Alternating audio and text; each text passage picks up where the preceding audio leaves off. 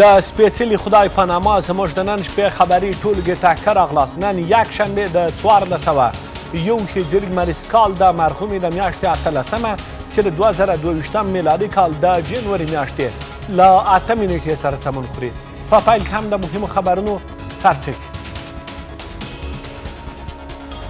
د نجونو پر زده کړو د لګول شویو بندیزونو پر لرې کېدو ټینګار محترم وزیر صاحب په خپلو خبرو کې وویل، موږ د شریعت په رڼا کې د افغانستان ټولو وګړو حقوقو ته ژمن یو او موږ ټولې نړۍ سره د تحصیلي ډګر کې ښه تعامل غواړو. له افغانستان سره د بشري مرستو ځنډېدل. د افغانستان د 2 میلیارډ ډالر شتمنۍ د کنګل کېدو له امله به د بانکي انتقالاتو له درېدو سره جوخت د بشري مرستو درېدل د بیو د لوړېدو د روغتیا او پوهنې په برخه کې د معاشونو د ورکړې د بندېدو او دغه راز د وزګارتیا د زیاتېدو لامل شي له شپېتو ساعتونو وروسته د بند پاتې کارګرو ژغورل کېدل دو تن از برادرانی که در اونجا گیر مانده بودند با صورت بخشیدن عملیات نجات الحمدلله ساعت 9 و 30 دقیقه شب توانستیم که اونها را موفقانه بیرون بکنیم د ژمي په سړه هوا کې د کار له نشتوالي د کارګرو شکایت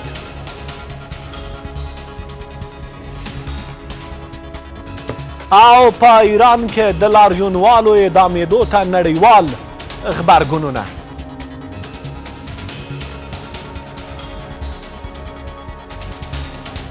اوس هم پوره خبرونه از فریدالله محمدی یم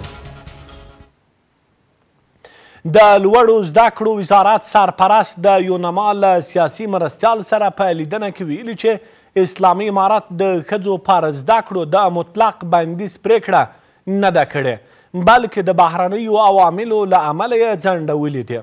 د سرپرست حکومت د کابینې دغه چارواکی وايي چې اسلامي امارت د فشار له لارې د هېچا غوښتنې نه مني. د لوړو زده کړو وزارت ویاند وايي چې د یونما سیاسي مرستیال د ښځو د زده کړو په برخه کې خپله طرحه له دغه وزارت سره شریکه کړې ده. نور حال زموږ د همکار عمران دانش په راپور کې. د لوړو زده کړو وزارت وایي چې د دغه وزارت سرپرست د یوناما سیاسي مرستیال ته ډاډ ورکړی چې دغه وزارت په تحصیلي برخه کې د هېواد د ټولو وګړو حقونو ته ژمن دی. د لوړو زده کړو وزارت وایي چې د دغه وزارت سرپرست ندامحمد ندیم د یوناما له سیاسي مرستیال مارکس پوتزل سره په لیدنه کې د نجونو پر زده کړو لګېدلی بندیز لنډمهاله ګڼلی دی. محترم وزیر صاحب په خپلو خبرو کې وویل، موږ د شریعت په رڼا کې د افغانستان ټولو وګړو حقوقو ته ژمن یو او موږ ټولې نړۍ سره تحصیلي ډګر کې ښه تعامل غواړو او په نړیوالو دا غږ کوو چې کومې غوښتنې چې هغه شریعت سره په ټکر کې وي هغه دې هېڅکله زموږ څخه نه کوي. د لوړو زده کړو وزیر په یوه خبرپاڼه کې ویلي چې اسلامي امارت د فشار له لارې د هېچا غوښتنې نه مني.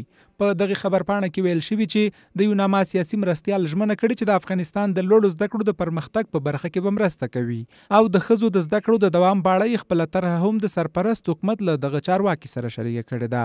په همدې حال کې د ترکیې یو مشهور عالم او د اسلامي هیوادونو د علماو د رهبرۍ کمیټې غړي د پوهنې له سرپرست وزیر سره په کتنه کې ویلي چې د نجونو پر زده کړو بندیز د منلو وړ نه دی.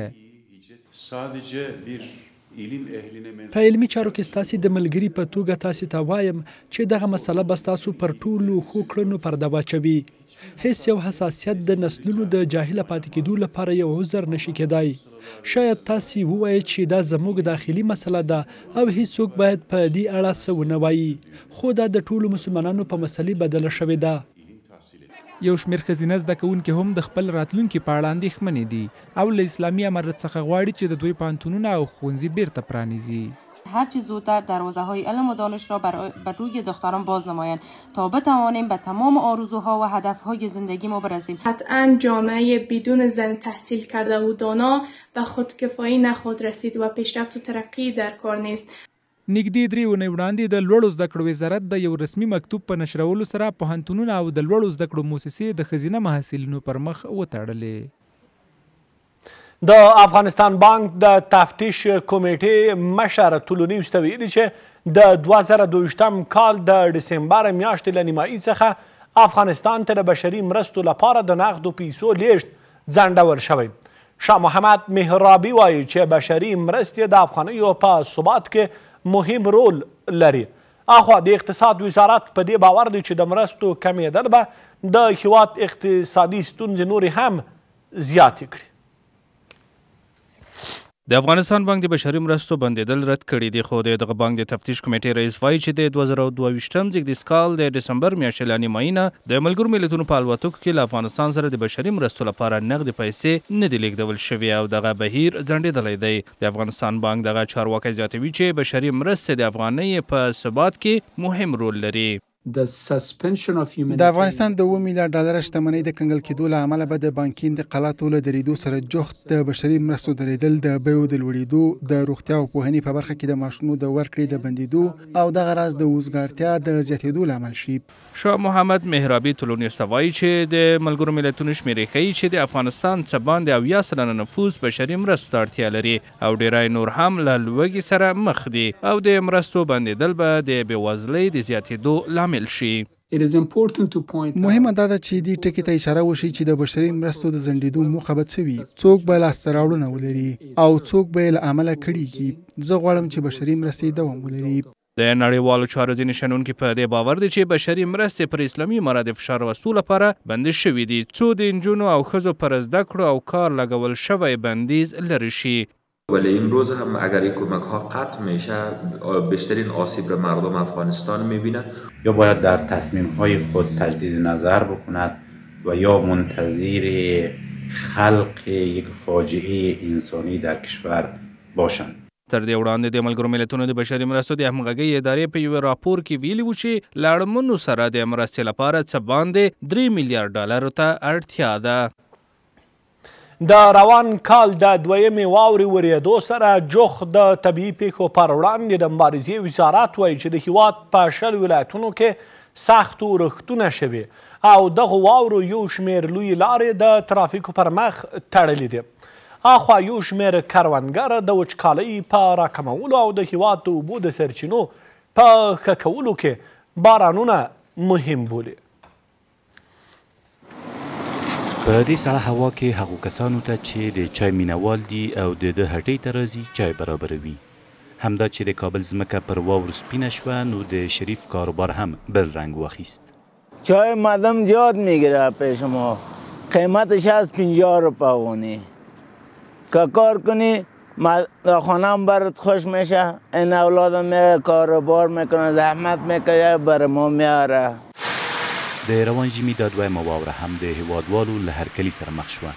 دوی وايي، ورښت د هوا ککړتیا راکموي او تر ځمکې لاندې د اوبو سرچینې غښتلي کوي.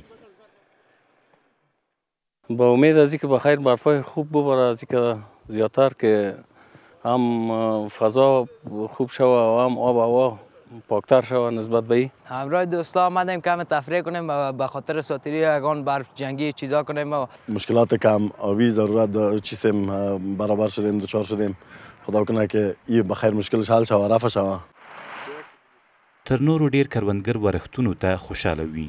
یو شمېر کروندګر وایي، دغه ډول ورښتونه به د وچکالۍ له راکمولو سره مرسته وکړي. امسال ولا او نه بوده خوشسالی بود دګه چیز میز نکرد ګندما کل چیز خشک شد. له بل لوري د هېواد په څه باندې پنځلسو ولایتونو کې ورښتونو ځینې لویې لارې هم د ټرافیک پر مخ تړلي دي. د ټولګټو وزارت مسؤلین وایي، د دغو ورښتونو له امله په بامیان، فراه او سرپل ولایتونو کې ځینې لویې لارې او کوتلونه د مسافر پر مخ تړل شوي دي. بامیانو کې د واورې ورښت دا مهال جریان لري او د شاتو کوتل لاره په موقت ډول د ترافیکو پر مخ بنده ده. په فراه کې هم د پرچمن ولسوالۍ لار د واورې د ورښت له امله د ترافیکو پر مخ بنده ده. تر بل هر موسم ژمی بیا بې وزلي خلک ډېر کړاووي، ځکه دغه کورنۍ په ډېرو کمو امکاناتو سره خپل ژوند تېروي. د بدخشان ولایتي روغتون مسؤلین د دغه ولایت په یوان ولسوالۍ کې له خاورو لاندې د ژغورل شویو کارګرانو روغتیايي وضعیت د ډاډ وړ بولي. د تېرې اونۍ د پنجشنبې په ورځ درې کارګر د سرو زرو په کان کې تر خاورو لاندې بند او له شپېته ساعته هلو ځلو وروسته وژغورل شول. ژغورل شوي کسان وایي د وزګارۍ له امله اړ وو چې په دغه کان کې په غیر مسلکي توګه کار وکړي. قطیب الله یو له هغو کارګرو څخه دی چې د بدخشان په یوان ولسوالۍ کې د سرو زرو کان تر خاورو لاندې بند پاتې و. دی چې له یو شپېتو ساعتونو وروسته له خاورو راویستل شوی دی، د دغې پېښې اړوند خپل لیدلی حال داسې بیانوي. زیاتر که عذاب مون میداد یک طرف خوب تنفس کردن نمیتونستیم دیگه قید بدیم و یک سری دیگه هم گرسنگی و تشنگی و چیز نیم برسیم. دو تن از برادرانی که در آنجا گیر مانده بودند با سرعت بخشیدن عملیات نجات الحمدلله ساعت نه و سی دقیقه شب توانستیم که اونها را موفقانه بیرون بکنیم. نولس کلن صفت الله چې له پنځوسو ساعتونو وروسته ژغورل شوی وايي چې د فقر او وزګارۍ له امله د کار لپاره دغه ځای ته تللی و.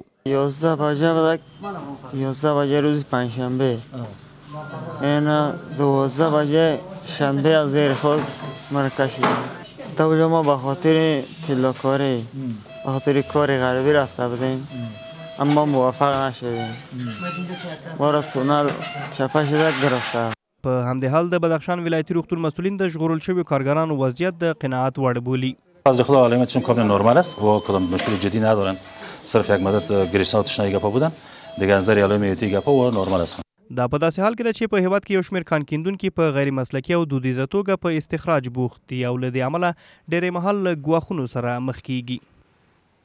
هلمند کې د برېټانوي ځواکونو په هوایي بریدونو کې د قربانیانو کورنۍ د عدالت د ټینګښت او غرامت غوښتنه کوي بلخوا بیا د هلمند سیمه ایز مسؤلین وایي هغه نړیوال بنسټونه چې د عدالت د پلي کېدو تر نامه لاندې فعالیت کوي باید له بېګناه افغانانو سره شوی ظلم وڅېړي نور حال زموږ د همکار نعمت الله همت په راپور کې دا د هلمند په ګرېشک ولسوالۍ کې هغه ډله ییز قبر دی چې له نن څخه پنځلس کاله وړاندې د برتانوي ځواکونو په هوایي برید کې ووژل شول.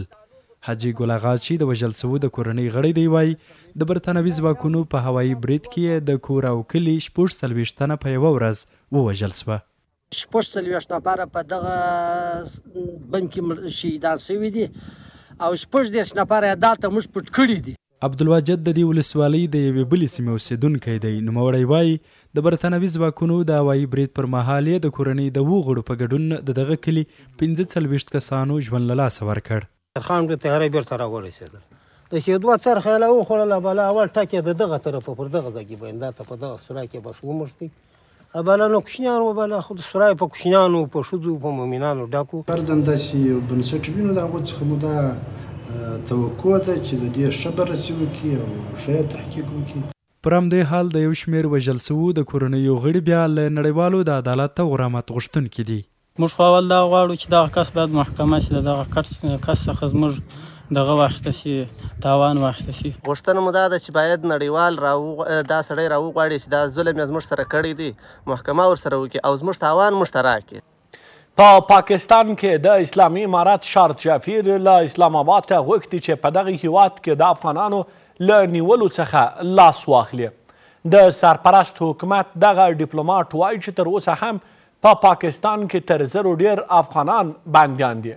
ورته مهال د بندیانو د کورنۍ یو شمېر غړي وايي چې د دوی خپلوان د پاکستان په زندانونو کې په بد حالت کې ژوند تېروي. په اسلام اباد کې د اسلامي امارت د سفارت سرپرست له نیوز سره په خبرو کې وویل، اوسمهال د پاکستان په زندانونو کې سلګونه افغانان بندیان دي. د سرپرست حکومت دغه ډیپلوماټ له پاکستاني چارواکو غواړي چې دغه هیواد کې د افغانانو له نیولو لاس واخلي په پا پاکستان کې د افغانستان سفارت د اطلاعاتو پر بنسټ دمګړی له زرو ډیر افغانان د پاکستان په زندانونو کې د ژوند شپې ورځې تیروي موږ چې له پاکستاني چارواکو سره خبرې کړې دي په هر لیول باندې هغوی ژمنه را سره کړې ده چې انشاءالله د دې کار به ژېر زر تر زره خلاص شي او له دوی څخه موږ دا غوښتنه دا هم کړې ده په بار بار ورته وايو چې نور دا د افغانانو د نيولو لړۍ پای ته ورسېږي او نور ونه نيول شي، ونه ځورول شي. بل خوا يو شمېر د بنديانو کورنيو غړي د پاکستان په زندانونو کې د بندي خپلوانو پر وضعيت اندېښمن دي او له پاکستاني چارواکو غواړي چې بندي افغانان ازاد کړي. نو اوس موږ غواړو چې دا وو پاسې د دې ځکه کومه سزا یې نه ده کړې د افغاني په کیسې نیولې باید چې وی باسي ډیپورټ یې د دلته په سوراب ګوډ ګلزارجي تانې نیولو د تقریبا 15 میاشتې وشولې خواهان هرچه سریعتر آزاد شدن این مهاجرین هستیم چرا که بر اساس کنوانسیون های بین المللی هیچ کشوری حق برخورد غیر انسانی با مهاجرین را ندارد تر دې وړاندې د شنبې په ورځ هم د پاکستان له زندانونو له پنځه سوه شل ډېر بندي افغانان ازاد شوي چې پکې ښځې او ماشومان هم شامل وو.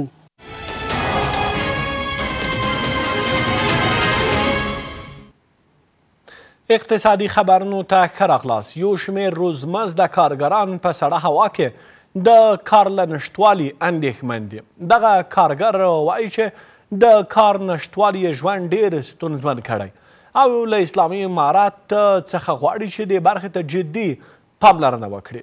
اخوا د کار او ټولنیزو چارو وزارت وایي چې د هیوادوالو لپاره د کار موندنې پلان جوړ کړی دی. دغه کارګران د کابل په سړکونو کې کار موندلو ته سترګې په لاره دي. دوی وایي په دې وروستیو کې هیڅ کار نه مومي او هره ورځ خالي لاسونه کورونو ته ستنیږي. اتیوس کلن نظر محمد د خپلې اته کسیزې کورنۍ مسؤلیت لري. دی وايي، په دې ژمي کې له ګڼو ستونزو سره مخ دی.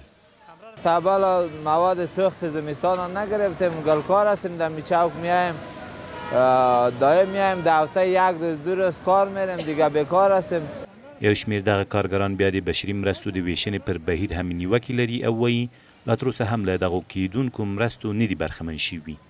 کومک مومک نشته دی ټول بس هغه مالدار اخلي چې د چا وس شته دی هماغه یې اخلي موټر لري بنګلې لري هماغه یې اخلي چې څوک بې وسه دی هماغه شان بې وسه پاتې دي اوسه پورې. کاروبار دیگه در وطن سقوط کرده بیخی کاروبار هیچ نیست مردم ها کلا سر چوک می آید عایدات نیست همین دو صد روپیه مردم هم یلی ضرورت داره دو صد روپیه که یک کرایه اوی شوه یک کرایه نانی شوه.